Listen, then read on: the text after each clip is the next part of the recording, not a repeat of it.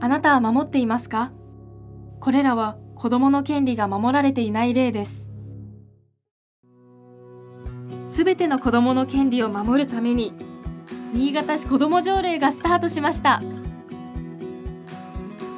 権利が守られることで子どもが安心して幸せに生きることができます。大人は連携協力をして子どもの権利を守っていきましょ